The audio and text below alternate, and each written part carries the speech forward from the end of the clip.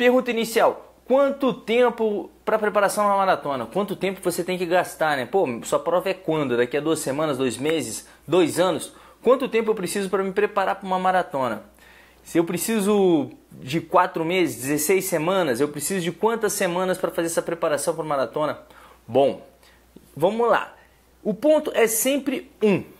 Quem é você? Então tenho individualidade biológica, certo? A preparação para maratona vai variar muito. Vai variar, você pode estar apto de acordo com o seu passado atlético, o seu passado de exercício físico, de atividade, no qual você sem treinamento algum, você tendo uma boa técnica, você tendo um fortalecimento muscular, você consegue completar a maratona, certo? Uma coisa é completar a maratona, chegar aos final dos 42, 195 metros. Outra coisa é você completar bem essa maratona. O que, que seria completar bem? Ah, quero completar correndo todo o percurso, eu quero completar na velocidade X, eu quero fazer um tempo tal, eu não quero só completar, eu quero fazer alguma coisa a mais. Então, Dependendo de quem você é e como você quer fazer esses 42 quilômetros, como você quer concluir a sua maratona, isso tudo vai depender muito desse tempo de preparação, esse tempo no qual você vai se preparar para fazer a sua prova. Por quê? Basicamente, muita gente vai querer me dar porrada e tal, tudo mais, mas é uma coisa que eu acredito. Se você tiver a cabeça forte o suficiente para aguentar a dor, super, suportar o tempo ali, 42 quilômetros, não é difícil. Não é difícil. Mas o que acontece? Quando você não se prepara, não planeja direitinho, não faz todo o escalonamento, a progressão do treinamento para você fazer isso, você torna tudo muito mais sofrível. Esses 42 km vão ficar muito mais sofridos. Só que se o seu objetivo é simplesmente completar os 42 não importa o sofrimento, o prazer que você vai ter na prova, bom, prepare a sua cabeça que você vai conseguir fazer esses 42 sem problema nenhum. Você pode fazer em 6 horas, 7 horas, se você quiser, você vai conseguir concluir essa prova. Mas vai sofrer um bom bocado para concluir essa prova. Eu não aconselho que você faça isso. Vá lá e vá, vou fazer semana que vem os 42 e pronto que eu estou afim de completar esses 42 para tornar um maratonista. Calma, gente. Para que você quer, tornar, quer se tornar um maratonista? Né? Ter essa chancela, eu sou um maratonista, eu corri 42, 195, eu sou sinistro. Bom, a priori, para mim, um maratonista não é um cara que simplesmente vai lá e corre 42, 195. É um cara que se dedica, é um cara que exige, abdica do tempo dele com a família, com alguma coisa de trabalho, para ter aquela disciplina, para treinar, para fazer, para imaginar e para executar. Então não é simplesmente ir lá e correr os 42 195. Tem todo um planejamento que é interessante você fazer para que você faça bem isso. Então voltando lá, não é só completar. A ideia não é só completar os 42 195. Então, vamos treinar isso direitinho? Beleza. Você está no nível iniciante, você não está correndo nem 5 km ainda. Quanto tempo eu tenho que planejar para esses 42 km? Bom, Nesse ponto, eu não acho interessante você colocar um prazo de 20 semanas, 24 semanas, pô, dois anos que seja. Eu acho interessante você ir galgando passo a passo, deixando no horizonte o desejo pela maratona e você ir se preparando, fazendo primeiro 5 km, depois os 10 km, 16 km, 21 e assim você vai crescendo para que principalmente você torne-se um hábito para você o treinamento de corrida. A partir do momento que o treinamento de corrida se torna um hábito, já está na sua rotina, fica muito mais fácil de você ter a disciplina de fazer o treinamento. Porque o mais difícil de uma maratona não é completar a maratona, é fazer o treinamento certinho para a maratona. É porque exige treinamento no mínimo quatro vezes por semana, você vai estar correndo.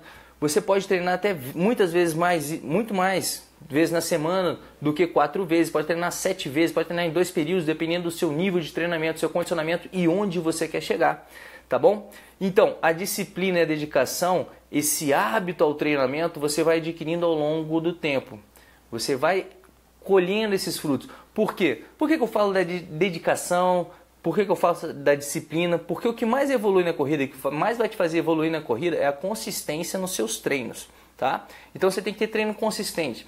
Agora, se você não tem o hábito de treinar, se você não consegue, não conseguiu adquirir ainda essa disciplina de estar treinando toda semana, rotina certinha, fazendo direitinho, tudo que você vai fazer encaixando em quatro meses, seis meses que você vai fazer sua preparação para a maratona, até dez meses no ano que você coloca, vai tornar tudo mais sofrível.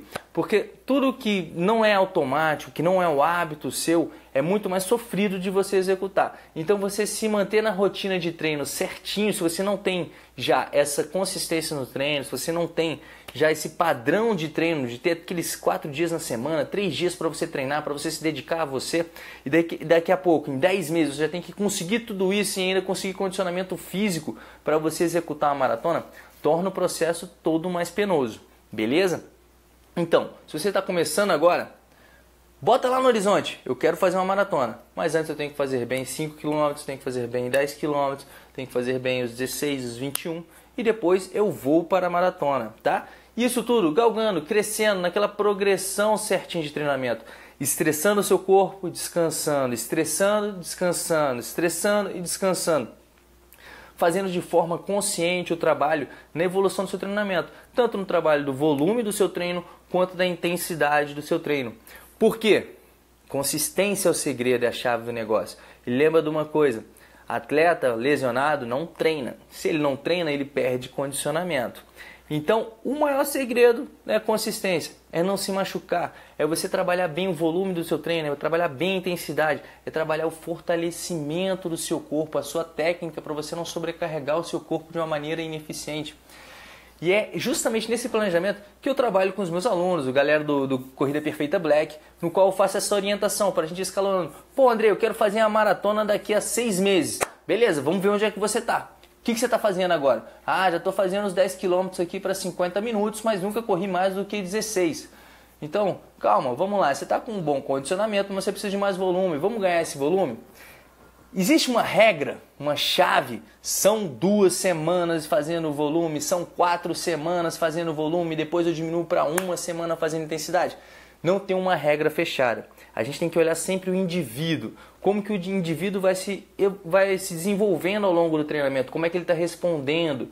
E quantos mais dados você tiver sobre esse treinamento, se é questão do seu pace, do seu descanso, de como está o seu sono, se o sono está tá ruim, se não está ruim, para você ir regulando justamente a intensidade do treino e tudo mais, a sobrecarga, para você não deixar o corpo estressar muito.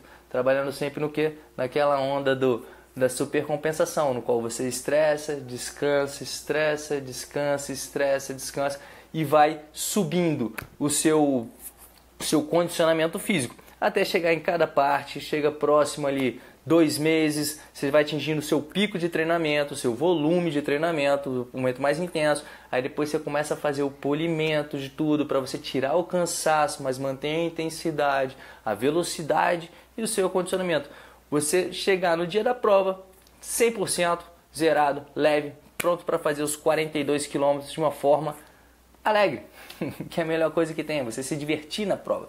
Esse é o grande ponto. Então, tem uma maneira certa de você quatro semanas, 16 semanas?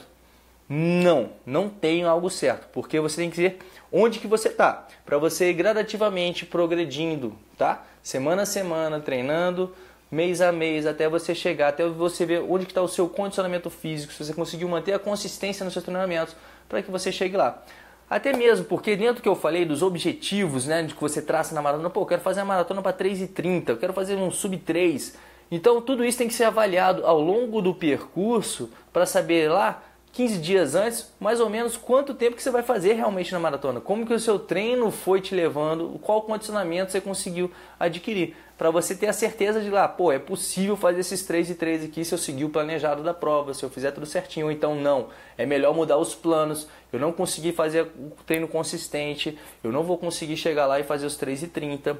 Então você está vendo como que é um longo caminho? E não existe muito essa de fórmula para a maratona, Existe sim uma ideia geral, mas você tem que se conhecer, conhecer o seu corpo como que ele responde, tá? Para justamente você ir construindo ali para fortalecer onde ele precisa, tá? E para você chegar lá e, ob e obter o seu sucesso na prova, seja o objetivo qual for da prova, beleza? É interessante, né, como eu falei da progressão, você ir fazendo uma prova de 16, de 10, de 21, por que, que é interessante você fazer uma prova de 21? Para você testar a sua prova de 42. Esse é o grande ponto. É você sentir o estresse ali, você sentir a sua barriga funcionando, né? Como que o alimento vai responder durante a prova, naquela, naquele estresse, naquele movimento que você está na corrida ali. E para você ir cada vez mais experimentando, você vai conhecendo como que o seu corpo vai respondendo a cada momento na corrida. Você vai sentindo, porque a cada passo, a cada quilômetro, a cada minuto que passa do exercício, o seu corpo responde de uma maneira diferente. Ele vai te dar um feedback diferente. E ter a consciência sobre o seu corpo é fundamental. Você sentir o seu corpo, você ter a experiência justamente de como que seu corpo se comporta em prova. Se bota uma intensidade mais alta, se bota uma intensidade mais baixa, a hora que tem que acelerar, a hora que tem que comer, a hora que tem que beber. Todo esse planejamento de prova. Você pode fazer isso num treinão, num longão? Pode. É muito recomendado você fazer no longão, nos seus treinos, o que você vai fazer na prova. Você fazer um simulado, né? Mas você pode fazer sem prova ou no longão. Mas é interessante que você se teste que você experimente, tá bom? Essa questão toda da sobrecarga, do volume, da intensidade para o treinamento, o que, que a gente tem que lembrar sempre sobre a sobrecarga, sobre o volume e intensidade? Isso é bom, é o princípio da sobrecarga que faz você ter um melhor condicionamento. É você estressando o seu organismo. O seu organismo vai responder para ser melhor, ser mais forte, ter uma melhor condição física. Esse é o grande ponto. Essa sobrecarga ela pode se dar de várias maneiras. A gente tem a sobrecarga cardiovascular, que são os treinos cardiovasculares, no qual você vai estressando o seu coração, a questão da vascularização dos seus músculos, essa resposta né, fisiológica ao exercício. E você também tem a questão muscular e articular. O seu corpo, a questão musculoesquelética. Como que biomecanicamente o seu corpo vai respondendo ao estímulo que está sendo executado. E a depender do estímulo que você faz com o seu corpo, do seu padrão de movimento, você vai ter uma resposta a esse padrão de movimento. Você vai sobrecarregar uma região, vai sobrecarregar mais a panturrilha, vai sobrecarregar mais o joelho, vai sobrecarregar mais quadril. E para isso você tem que se preparar. Você tem que ter a consciência disso. Por isso que para maratonistas, como para qualquer corredor, é interessante você ter a consciência sobre o seu movimento para justamente você tirar o máximo possível desse movimento para que você sobrecarregue o mínimo possível para você atingir o seu objetivo. Você tendo a eficiência do seu movimento, você tendo um movimento mais eficiente, ao invés de você ficar se desgastando, perdendo energia à toa, você vai ganhar, vai, vai perder essa energia só para ser mais rápido. Você vai gastar energia para ser mais rápido, não simplesmente para se manter em pé, se arrastando, né? Porque a depender da maneira que você se mexe, vai ter uma resposta diferente do seu corpo. E os princípios biomecânicos, os princípios físicos estão aí para explicar o que, que acontece quando o seu corpo está inclinado para frente, a gravidade, como que ela está trabalhando. Se você coloca o seu pé à frente do seu centro de massa, o que, que acontece com o vetor de força contrário ao movimento. Você vai se frear, não vai se frear? Como é que você vai se comportar? E lembra que são 42, 195 metros, repetindo a cada passo. Se você botar aí em média 1,20m de passada, dá uns 40 mil passos que você vai dar, né? Então você vai ser nesse movimento cíclico, quanto mais refinado, quanto mais esse movimento tiver afinado, menos energia você vai gastar e mais energia você vai ter para se tornar mais veloz. Esse é o grande ponto sobre a questão da técnica de corrida, da biomecânica, essas coisas que a gente encontra lá no Corrida Perfeita, tá? Lá no método. Qualquer coisa, clica aí corridaperfeita.com e vamos lá, dá uma olhadinha, estuda lá o material que é bem bacana. Falando justamente como você vai se movimentar. Ah, eu vou fazer o mesmo passo, os 40 mil passos, 42 mil passos lá, do mesmo jeito? Lembra o seguinte, gente: o corpo humano ele se movimenta. O músculo, a gente não controla a ativação muscular, em que fibra a gente vai puxar essa fibra, aquela outra fibra. A gente tenta controlar o padrão do movimento. Eu vou vou flexionar o meu quadril assim, eu vou entrar com o meu pé nessa posição, então eu vou acabar aqui recrutando esse tipo de músculo, é esse tipo de fibra, mas quem faz isso tudo é o cérebro. E para manter-se econômico, o cérebro vai sempre escolher, vai puxar um aqui, vai puxar outro ali enquanto um descansa. Ele vai fazendo esse ciclo muscular, porque dentro da cadeia muscular ele pode trabalhar o músculo de diversas formas, né? Para você estar tá sempre menos desgastado, tá? E assim você vai fazendo. Você tendo a noção de onde que você quer encontrar o seu pé no chão, como que o seu corpo vai se posicionar, você tendo essa consciência e você treinando, gerando a questão da coordenação motora para facilitar o movimento, para que o movimento se torne automático, você está otimizando todo o seu gasto energético durante a prova. Então, é importante treinar técnica de corrida para maratona?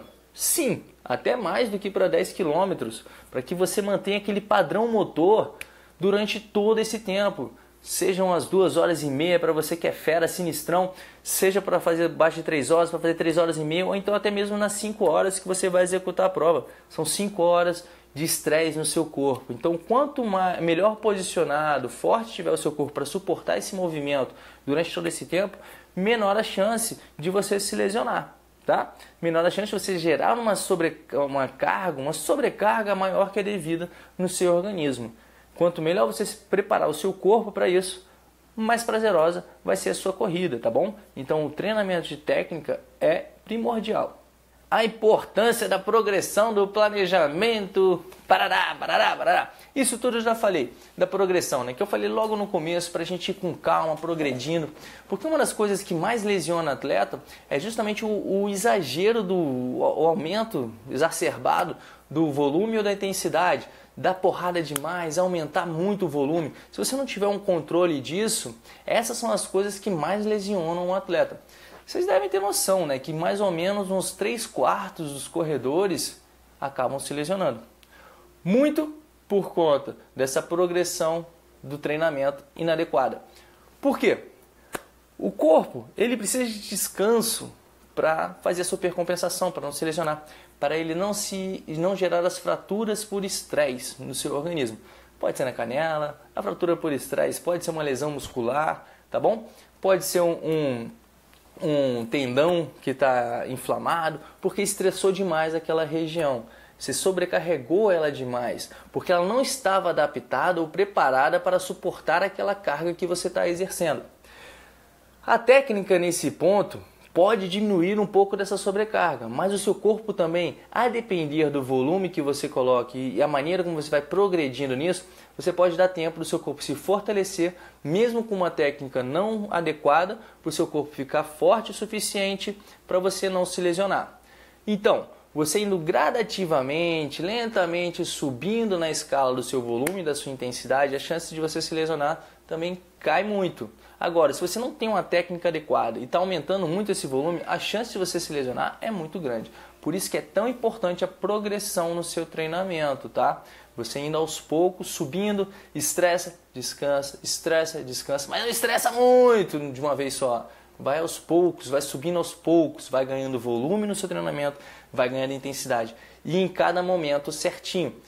Um volume no primeiro momento, intensidade um pouco mais próxima, diminui o volume, a intensidade, tá? Assim você vai fazendo justamente esse ciclo de pancada, descansa, pancada, descansa, e aí você vai ganhando seu condicionamento e cada vez melhor e cada vez mais preparado para fazer sua maratona de uma maneira prazerosa.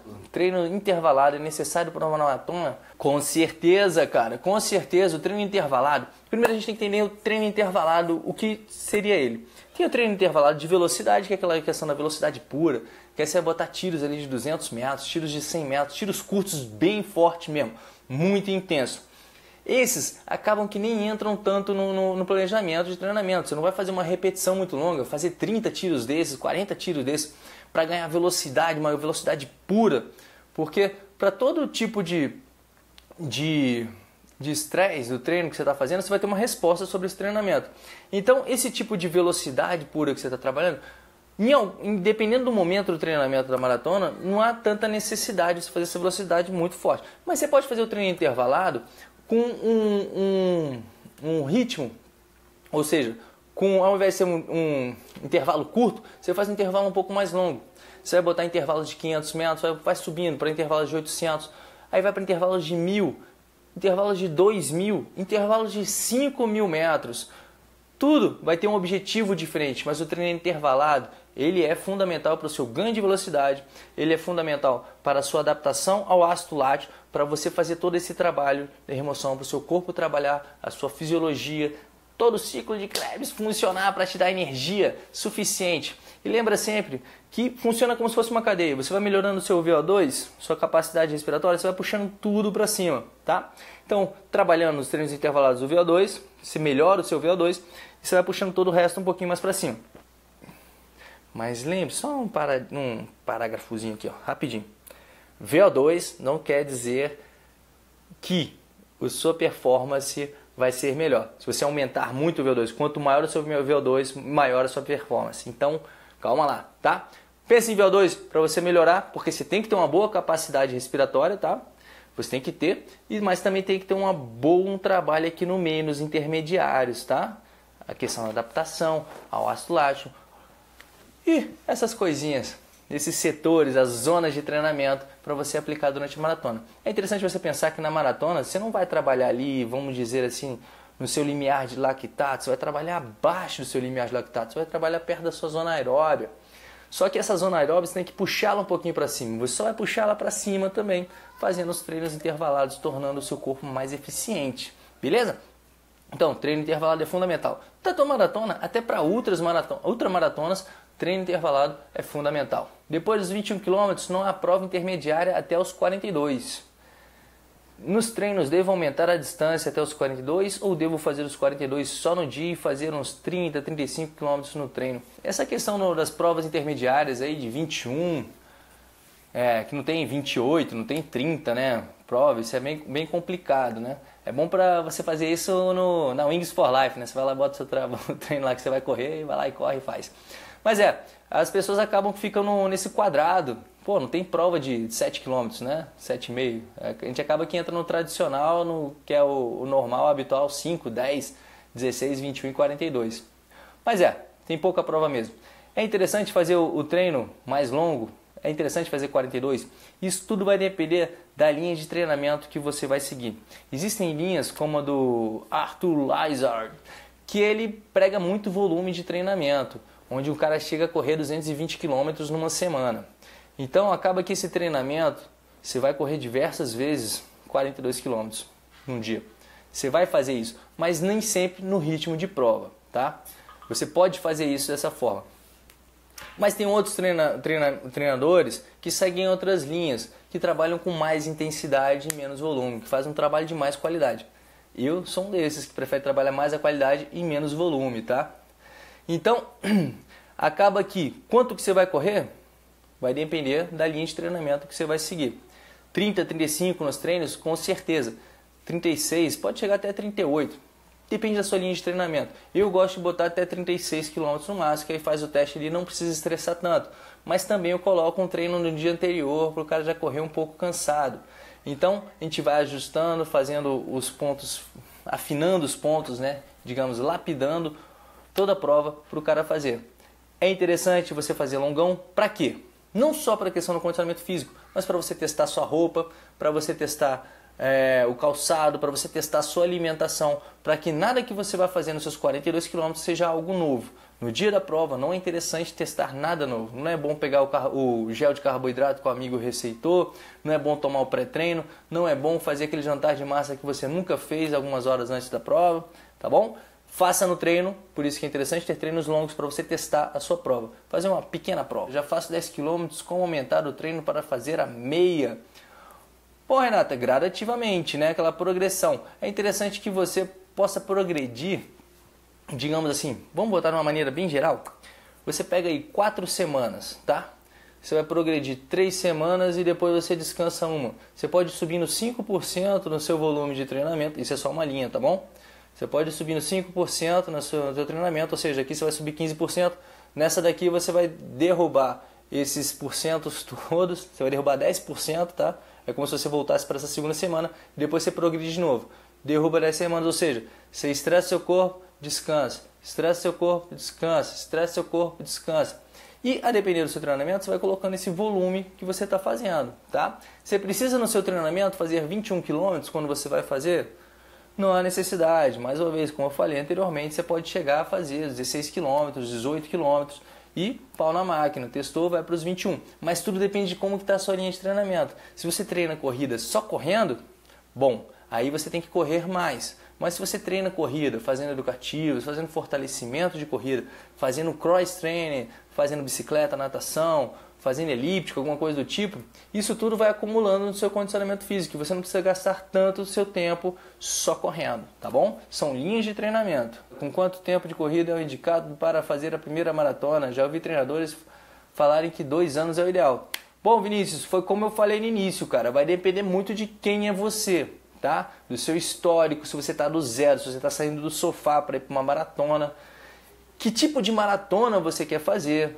Dois anos é um bom tempo de maturação, de treinamento para você ir pegando, é, calejando, aprendendo a correr, fortalecendo o seu corpo, para você fazer uma maratona com prazer. Mas depende de que ponto você está saindo, tá? Para poder dar justamente esse, essa, esse tempo ideal. Tem treinadores que falam que cinco anos de treinamento, em treinamento de endurance, digamos assim, você ainda está começando a parada, você ainda está no início. Então, é uma coisa muito mais longa, né? Depende de onde você quer chegar, do tempo que você quer fazer. De quantos quilômetros é considerado longo? Quantos quilômetros é considerado longão, Andrei? Cara, vai depender de você. Tem gente que não corre um quilômetro, se fizer cinco já é um longão, né? Mas a ideia do longão é o conceito do longão seria mais ou menos um treino longo, seria o seu maior treino na semana, tá bom? Com a frequência cardíaca um pouco mais baixa para você trabalhar dentro da sua zona aeróbia, tá? Dentro do seu limiar ventilatório, ali embaixo, para trabalhar tranquilo, coração de boa, para você trabalhar mais a capilarização, o coração batendo, tudo mais. Essa é a ideia do longão. Agora, quanto que é longão para um ou para outro? Pô, se você falar para um ultramaratonista que 42 é longão, o cara fala, não, eu faço 70 no, no, no mês, então, ou no mês, ó, no final de semana. Então, depende muito, tá? Mas a ideia do longão é mais ou menos essa. Amigos meus falaram que maratona é diferente do que fazer simplesmente 42 sozinho. O que muda? Bom, Jandro, o que vai mudar é a experiência, cara. Aquele clima, né? Todo mundo correndo junto, você vendo uns caras sofrendo, a galera lambendo asfalto, você morrendo lá e daqui a pouco passa um cara voando do seu lado. Tu fala, onde é que saiu esse desgramento, meu irmão? Ele começou a correr agora. Então é muita coisa acontecendo, a experiência como um todo, né? Você tá junto com muita gente lá. Isso é fantástico. O legal da maratona, da prova maratona, é o espírito do pessoal correndo junto, todo mundo lá nesse objetivo de fazer a prova. Correr sozinho é correr sozinho, cara. É você com você. Você não tem aquela interação, você não vê outras pessoas que estão na mesma vibe que você, digamos assim. Na mesma vibe não, mas no mesmo objetivo, que é completar a prova que você. Essa é a grande diferença só. Por isso que eu falo sobre que o maratonista é o cara que treina, que ele vai atrás, tem a consciência, tem a consistência nos treinamentos, né? Isso é que faz do cara o maratonista, não só o cara que vai lá e corre 42, 195. Você acha melhor focar em completar a prova em uma primeira vez ou já ter um objetivo de tempo, por exemplo? Muito boa pergunta, Thaís Dávila. Obrigado. Bom, Thaís, completar a prova. Eu acho que é muito interessante você ter um alvo bem claro na sua mente. Na vida a gente tem que ter um objetivo claro. Onde que eu quero chegar? Ah, eu só quero fazer os 42, 195. Isso pode ser feito de várias formas, né? Porque isso vai acabar atrapalhando toda a sua preparação. Porque naquele dia que você tiver que fazer aquele tiro, que você está se esforçando, que você está ali, pô, isso é só para completar, não, isso aqui é para fazer aquele tempo, é aquele tempo X, por isso que eu tenho que levantar daqui, porque eu quero aquelas quatro horas, eu quero aquelas três horas, eu quero correr forte aqui. Então isso vai te motivando a chegar, porque você tem um objetivo claro, não tá aquele negócio meio nebuloso, né? Só 42, 195, eu quero completar só, tal. Pô, isso pode acabar atrapalhando um pouco o seu treinamento, pode tirar um pouco o foco. Mas a ideia de toda a prova que você tem que ter em mente como objetivo 1 um, é sim completar. Eu vou atravessar aquela, aquele pórtico de chegada, eu vou chegar. Só que a sua preparação vai te levar a um ponto que, pô, posso fazer essa prova em 4 horas. Eu vou buscar essa prova em 4 horas. Então, vou buscar essa prova em 3 horas e 59 e 59. E você vai quilômetro a quilômetro galgando isso. Ao invés de ir lá, aí anda, caminha, olha. Porque acaba que o seu sofrimento, porque você vai sofrer, você vai sair. O sofrimento que eu digo é que você vai estar saindo da zona de conforto. Você vai chegar na sua zona de desconforto. Então você tem que se puxar um pouquinho a mais. Se o objetivo é só completar, Porra, a prova aqui é sete horas para concluir. Aí você acaba que você vai indo, né? Pô, aí descansou um pouco, aí descansa, larga, anda, vai devagar, vai lá e completou a prova, 42,195 em 6 horas e meia. Mas tem gente que gosta disso, tem gente que busca isso. Eu já vejo a corrida muito mais como uma transformação pessoal. A corrida é uma ferramenta para você se modificar. Então, como na corrida, na maratona, como na vida, é interessante você ter um objetivo claro de onde você quer chegar. Para que a cada dia você está construindo degrau para aquele objetivo claro que você quer chegar. Para o momento que você chegar naquele objetivo, seja um tempo, seja completar, você vai ter conseguido isso com toda a sua disciplina, com todo o seu esforço. E lembre-se que o que você faz no pequeno, você faz no grande. Esse é o grande barato do treinamento de corrida, do treinamento para maratona. É porque requer disciplina. E onde você aprende disciplina num lado, você vai levar a disciplina para outro lado. E a gente sabe que o segredo do sucesso na vida é a tal da disciplina. Mas Andrei, durante a preparação para a maratona, de quanto em quanto tempo devo fazer no longão? E qual é a distância recomendada para esse longo? O longão, ele basicamente ele está dentro do, do seu microciclo, digamos assim, do seu treinamento semanal. Depende muito da orientação do seu treinador, da linha de treinamento que você vai fazer, tá? Então, você pode ter o seu longão, esse treino com a frequência cardíaca mais baixa, com volume mais alto semanalmente, ou então não. Isso depende da linha do treinador. Você pode ter longão na, toda semana. E qual a distância recomendada para esse longão? Para esse longo vai depender do momento do seu treinamento. O momento do seu treinamento é igual a quanto tempo falta para a sua prova, para o seu objetivo dos seus 42 quilômetros. Então você tem que saber justamente onde você está, em que momento você estressou demais, se você está entrando na sua zona de, de polimento, na zona competitiva, tá? no, no momento mais competitivo, para você tirar todo o cansaço, diminuir um pouco o volume de treinamento, ganhar um pouco de velocidade. Alimentação para o dia da maratona, gel, carboidrato no percurso todo. Bom, Sueli, alimentação não vou entrar muito porque alimentação é para nutricionista. Eu vou falar o que eu falo e, com, e o que eu faço. E principalmente o que eu falei antes.